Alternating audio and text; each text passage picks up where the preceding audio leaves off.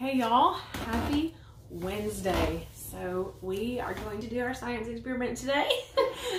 welcome to welcome to uh, Valor Academy. That's the name of our school. And so homeschool with Nancy Jo. You guys are gonna have a science experiment with us today. So it's it's great, and I love that um, the Holy Spirit will talk to us in ways that we can understand. So let me turn this this way. And um, so I will hold it up super close so that you'll be able to see it when the time comes.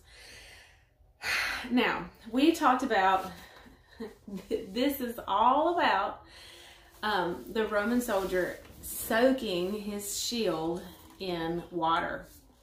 And so in CC last week, like I said, we did an experiment that was not about the shield of faith, but it correlates so beautifully. That's what we're going to do.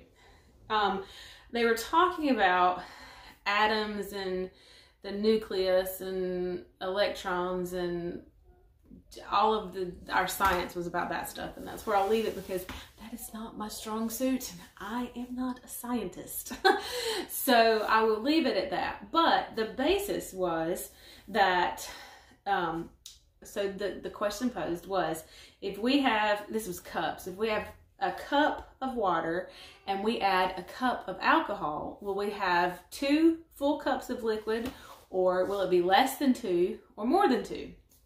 And so that was the question. We had our hypothesis and we did our research was the or the experiment and um, then we found out. And so this is two ounces of water and let's see. Yeah. if you can really super see that. It is, there's the, the line right there. It's two ounces of water. And I have two ounces of alcohol right here.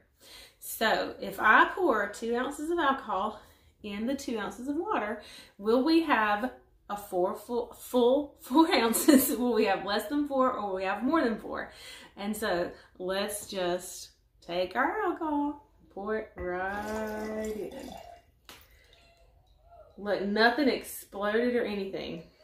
And I know that you can't see it, but there are lots of little particles. Well, you can see it moving around in there, okay? And I'm not holding it level, so don't judge me yet. ah, can you see the um this is terrible.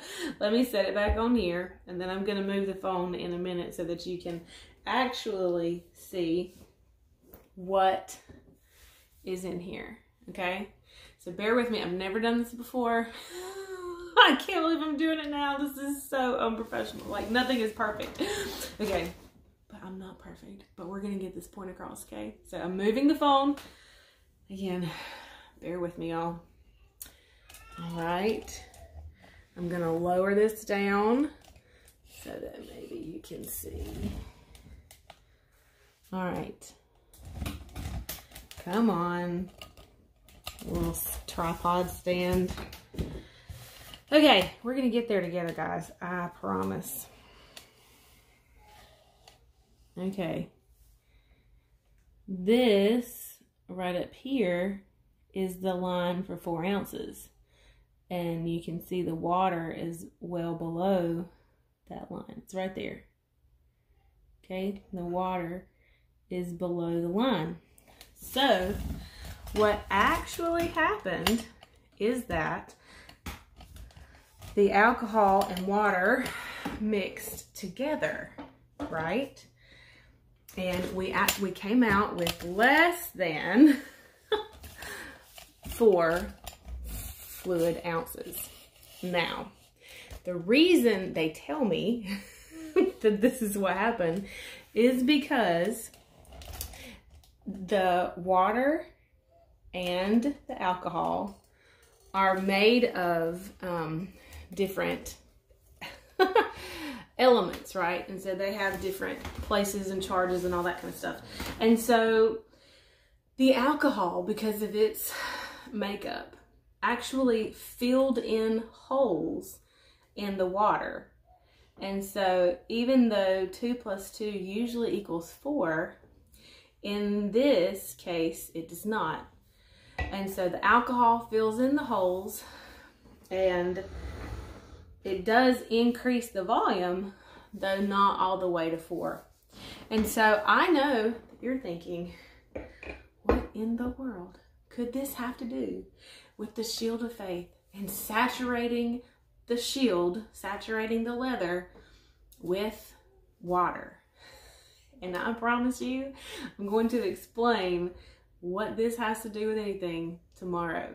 But um, appreciate you staying with me today. And I'm not Bill Nye the Science Guy or Nancy Jo the Science Girl. And um, that was hilarious. I can't believe I did that um, on video for you to see.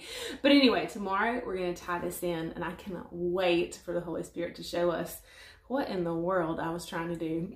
Bye, y'all.